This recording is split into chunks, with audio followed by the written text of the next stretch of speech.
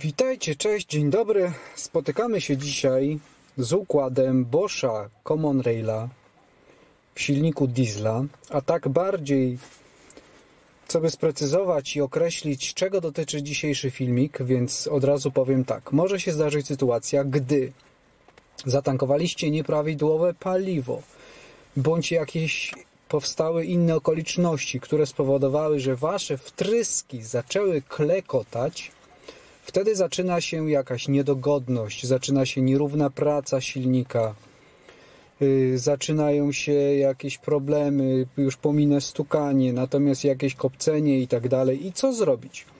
Jeżeli mamy możliwość y, wykasowania wartości przyuczonych, to jest ok, ale co zrobić w momencie, gdy nie posiadamy takiej możliwości w testerze, w urządzeniu, żeby takie wartości wykasować, bo tak jak wiecie, wtryski są zakodowane, one mają przypisany jakiś stały kod. Ale oprócz tego kodu, one są przez cały czas adoptowane, mają przez cały czas robione korekcje. Te korekcje się zmieniają w zależności od obciążenia, w zależności od temperatury i tak dalej, i tak.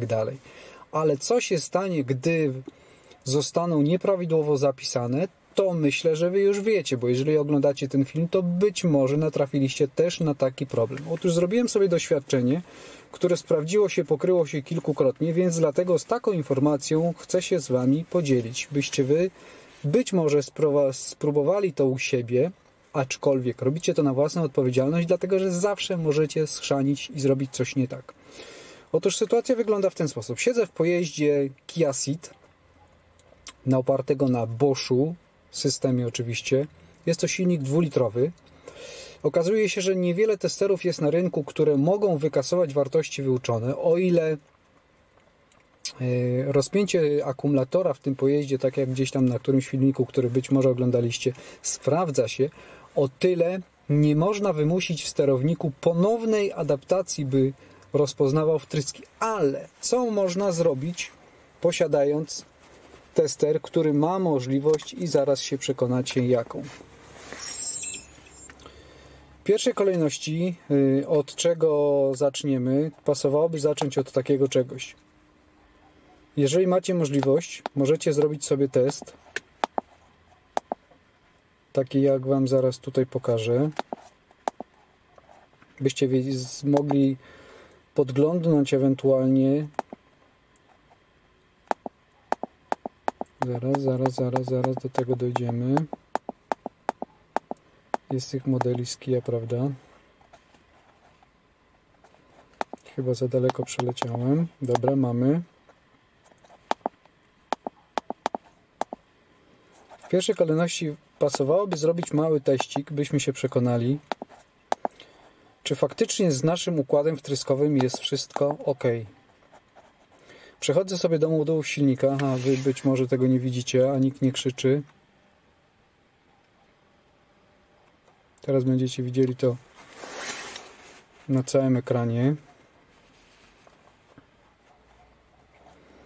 Więc tak, przechodzę sobie do modułu silnika i jest taka możliwość, żeby sobie zrobić czy to w teście elementów? Nie, przepraszam zagalopowałem się w funkcjach specjalnych. Próba funkcji silnika. No i pasowałoby. Funkcja jest dostępna, ok. Pasowałoby uruchomić pojazd, bo tego się inaczej zrobić nie da. Co możemy zrobić? Bardzo by mnie interesowała ilość wtryskiwanego paliwa, bo gdyby się faktycznie okazało, że mamy problem z układem wtryskowym, no to wierzcie mi, że jakiekolwiek zabiegi, które zaraz poruszymy na tym filmie, by się naprawdę nie sprawdziły. Więc dlatego tu będzie dotyczyło to tematu akurat takiego, jaki Wam przedstawię tutaj. Natomiast, co by to nie były puste słowa, Stosując się do oczywiście testera, będę musiał mieć bieg jałowy i tak dalej, i tak dalej. Więc sobie przechodzimy dalej. Teścik trwa. Proszę czekać, będzie rozmowa.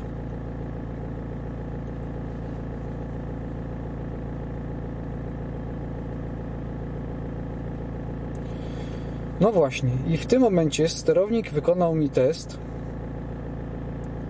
korekcji paliwa i zobaczymy jaka wyszła nam średnia.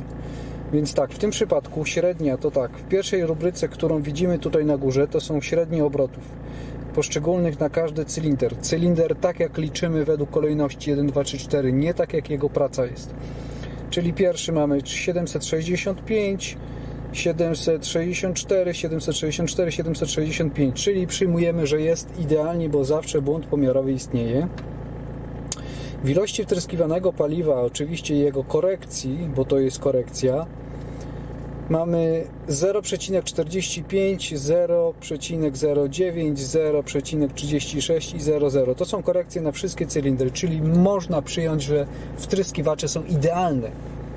Więc gdyby się Wam trafiła sytuacja, że Wasz silnik zaczął niemiło pracować, odczuliście wyraźny spadek na mocy, bądź jakieś inne okoliczności i coś traktujecie, czy uznajecie, że jest coś nie tak z układem wtryskowym, a widzicie, że Wasze korekcje są prawidłowe, no to możemy teraz zrobić taką rzecz. Wychodzimy z tego i będąc w pojeździe bądź z uproszczenia zrobimy to tak. Wychodzimy. Wszystko zależy od tego, jakim testerem dysponujecie. Natomiast tutaj mamy taką fajną możliwość, żeby wejść sobie.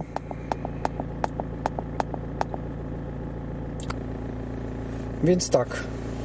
Mamy coś takiego jak kodowanie wtrysków. No i właśnie, o czym ten gościu teraz do nas gada? Jakie kodowanie wtrysków? my wtrysków nie chcemy kodować, bo nowych kodów nie mamy. Pozwoliłem sobie zgasić motorownię, żeby nie pracowała. Ale film właśnie dotyczy tego tematu, dlatego się z Wami dzielę, bo sprawdziłem, wypraktykowałem, wytestowałem i być może uratuje to Wam przysłowiowy tymek, tyłek. Więc tak, przechodzę sobie w kija, wybiorę sobie ręcznie.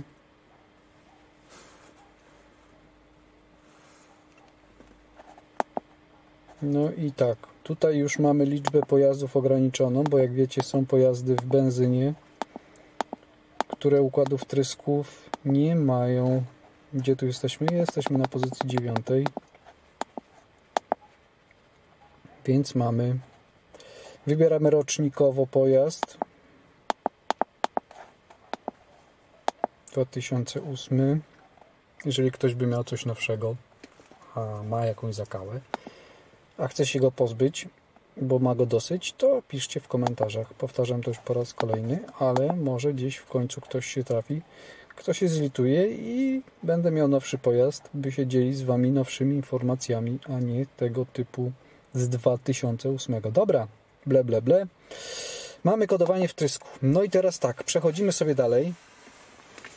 Co do tego typu, to do tego, przepraszam, ruszyło mi się, co do tego typu rzeczy będę potrzebował. On oczywiście nas poucza, jeżeli wtryski były wymieniane i tak dalej, i tak dalej, właśnie. I to, co w tym momencie my widzimy, on odczytuje nam faktycznie, jakie są kody wtrysków. Więc co ja robię? Robię coś takiego, że zrzucam sobie to na telefon. Robię sobie zdjęcie, by mieć kody takie, jakie faktycznie są zapisane. I oczywiście, co należałoby zaraz zrobić? Zaraz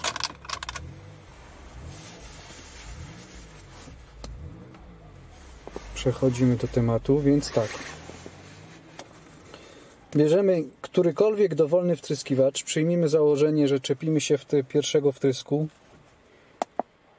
Wchodzimy w jego edycję, bierzemy klawiaturkę.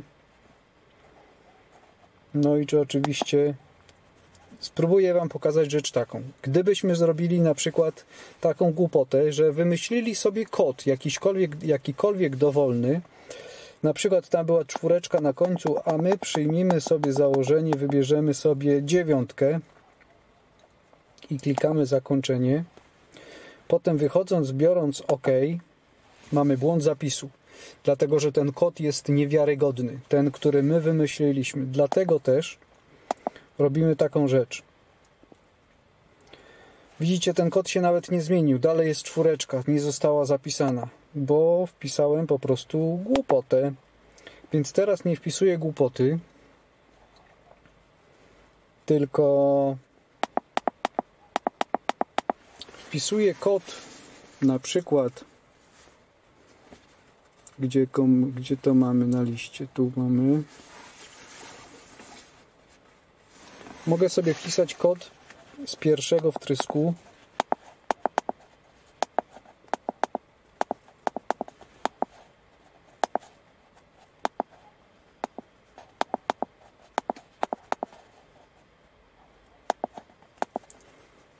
To się nazywa dity jakoś tak. To czy się nie nazywa, tylko taki jest kod. Dity G a, A. I tak jak widzicie, zapisałem taką wartość, po czym biorę zakończenie i widzicie, że ta wartość jest wpisana taka sama, którą spisałem sobie z telefonu zdjęcia, zdjęcie, które sobie zrobiłem i w tym momencie, gdy zatwierdzę to jako OK,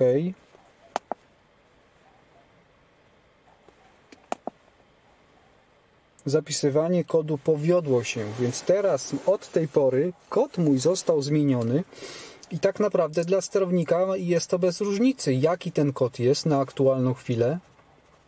Oczywiście, dlaczego zrobiliśmy zdjęcie? Po pierwsze, byśmy z głowy nie musieli strzelać ten kod, a po drugie jest tak, taka sprawa, że ten kod dobrze by było za jakiś czas z powrotem wrócić. Ale niemniej jednak rzecz wygląda w ten sposób. My zmieniliśmy kod, ale by ten kod y, faktycznie wpłynął na ponowną adaptację, czyli ponowne zmuszenie sterownika do rozpoznawania układu wtryskowego, bo on po zmianie kodu wie, że ponownie należy zrobić adaptację wtrysku, czyli ponownie należy rozpoznać te wtryski, jakie one, jaką one faktycznie mają pracę. I zauważyłem rzecz taką, że nie musimy zmieniać wszystkich wtrysków, żeby, im, żeby ich po prostu zasymulować, tylko wystarczy zrobić zmianę jednego wtrysku i system zaczyna tak jakby rozpoznawać je, rozpoznawać je od początku wszystkie, czyli zaczyna się przyuczać, zaczyna dziwnym trafem wzrastać moc silnika, te dawki są zupełnie inne, ten silnik zupełnie zaczyna inaczej pracować i oczywiście o wiele cichszy jest, spokojniejszy i naprawdę się to sprawdza. Dlatego też w tym momencie ja, oczywiście wyłączając zapłon, bo zapłon będę musiał wyłączyć i nie wolno mi go włączyć jest wcześniej jak w okresie tam 10-15 sekund, on sobie zapisał te wartości. Tylko te wartości zaczynają działać dopiero wtedy, gdy temperatura silnika mniej więcej zrówna się z temperaturami otoczenia. Czyli ja w tym momencie odpalając silnik y, jeszcze będę pracował na starych y, ustawieniach wtrysku, które są. Natomiast samochód rano, który odpalę, gdy temperatura cieczy, paliwa, silnika, otoczenia mniej więcej jest taka sama, w ten czas zaczyna proces się ponownie uczenia, czyli silnik jest zmuszony do ponownego przyuczenia układu wtryskowego i to naprawdę się sprawdziło trzykrotnie w różnych pojazdach i wiem, że ten patent działa. Niektórzy, którzy będą chcieli krytykować, mogą i krytykować, ale myślę, że nie jeden spróbuje tą metodę. Niemniej jednak, jeżeli zmieniliście ten kod, to pamiętajcie, jak pojeździcie sobie powiedzmy dobę, dwie, przekonacie się, że faktycznie gość miał rację, to weźcie, mając z powrotem tester, przywróćcie ten kod wtryskiwacza, by on ponownie uczył się na podstawie tego, który miał wpisany. Nie będzie to wpływało na nic, a sami się przekonacie, że wasz diesel zacznie w momencie przyuczania tak jakby po prostu dostał nowe życie od was. Bo to wy nakazujecie mu nowej pracy, nowych parametrów. Ale warunek jest taki, że musicie sobie zrobić najpierw odczyty. Jeżeli wy nie macie takiej możliwości zrobienia testu, tak jak ja na początku, że pokazuje mi obroty, pokazuje mi pokazuje mi na tej samej tabelce, jakie są korekcje, to chociaż korekcje sami odczytajcie sobie same korekcje, bo jeżeli będziecie mieli bardzo duże, przekraczające te 2,5, no to wiadomo, że w przypadku takiego układu, jak jest tutaj, no to już wtrysk któryś, gdyby wylatywał poza granicy, no kwalifikowałby się do regeneracji bądź wymiany. W każdym razie, jeżeli macie je prawidłowe, po zrobieniu takiego wariantu, naprawdę przekonacie się, że wasz silnik zacznie inaczej pracować, a paliwa wiecie o tym bardzo dobrze, że spadają, lecą w dół. Tylko na jakości, nie? To tak na marginesie. Ale pewnie nie, pewnie są bardzo dobre, tak jak były. Ceny się nie zmieniają, mamy wszystko jak najlepsze. W każdym razie wszyscy się cieszą. Diesel nie kopci, bo kto powiedział, że diesel musi kopcić? I wszystko jest git. Także jak jeszcze raz się spotkamy, to Wam opowiem o jakichś tam innych ciekawostkach jeszcze, które można zrobić. Także póki to na razie dziękuję. Trzymajcie się, cześć, do zobaczenia, do komentarzy oczywiście zapraszam. Jak ktoś wypraktykuje i sprawdzi taką metodę i będzie u niego pozytyw, bardzo proszę napiszcie to w komentarzach, bo sam jestem ciekawy w jakich markach się to sprawdzi, w jakich pojazdach. Niemniej jednak każdy pojazd musi sobie robić korekcje, bo jakości paliwa są różne, więc tutaj może się zdarzyć sytuacja taka, że tankując w jednej stacji korekcje będą inne, w drugiej stacji inne, bo gdzieś tam będzie coś tam i tak dalej, i tak dalej. Ble, ble, ble, ble, ble, ble. Także póki co na razie trzymajcie się. O, to jest to. Hej.